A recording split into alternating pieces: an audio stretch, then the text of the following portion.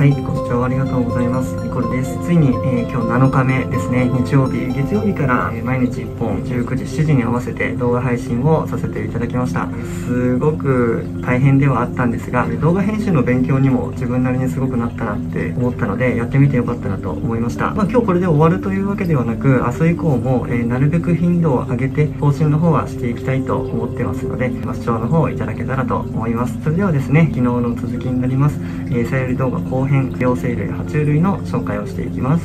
はい。では早速爬虫類の餌やりからお見せしたいと思います。あげているのはこちらのレオパゲル。その他こちらのレオパードラインを、えー、あげています。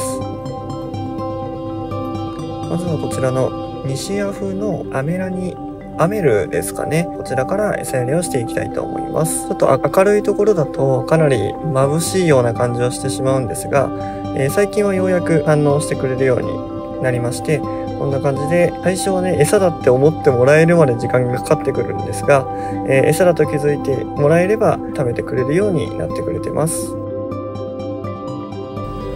はい、えー、続いてレオパのギャラクシーのモルフですね。この子はまだかなり人工飼料に慣れてなくてですねご飯をあげるのが非常にまだ大変な子です。なのでかなり時間をかけて根気強くあげ続ける形でようやく食べてくれるっていうような餌あげ状況になっています。こんな感じで全然餌だって思ってもらえないのでお餌だと感じてもらえるまで続けるような感じです。爬虫類最後はこちらのレオパですね。こちらハイイエローのモルフになります。この子が一番うちでは長くて、えー、餌やりもかなりもう慣れてくれました。人工飼料も見つければすぐに食いついてくれるような感じでこんな感じで明るくても外に出てる時でも気づいてさえくれれば食べてくれるというような感じです。はい続いては両生類です。えー、こちらのブラインシュリンプあげてるんですがこのゲージは、えー、マダライモリです。まだ陸上に上がれてない子たちもいるので、えー、水面と陸上に、えこちらのブラインシュリンプを置いていくという餌やりになります、まあ、気づいたらそのまま水上に上がってきたりとか陸上の子は陸上で食べてるといった状況です。はい続いてはこちらのウェルツノガエルですね。グランウェルツノガエルになります。えー、この子が一番衝撃的な餌やりシーンになるかなと思います。こんな感じでもう真上に落としてあげるだけで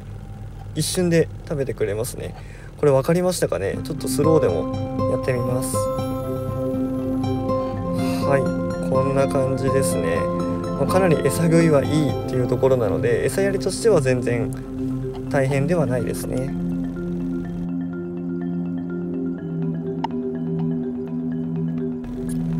はいこちら最後両生類。ウーパールーパーになります。ウーパールーパーには、えー、この専用のウーパールーパーのご飯をあげています。ウーパールーパーはかなり大食感なので、えー、多めにあげても全然食べきってるような状態ですね。大きくなるのも早いので見ていてかなり楽しめると思います。はいいかがでしたでしょうか、えー、昨日配信した熱帯魚よりも、えー、かなり餌食いの反応や食べる仕草っていうのがすごい、違ったと思うので、え見てて爬虫類両生類の方がもしかすると楽しめたのかなと思ってます。うちの場合は気鋭を全く使わずに、え、全て人工飼料で飼育していますので、え、その点もご参考になっては嬉しいです、まあ、今日で、え、7日間連続配信っていうところでは一旦終わりにはなります。今後も最初にもお話しした通り可能な限り頻度を上げて、え配信していきたいと思いますのでよろしくお願いいたします。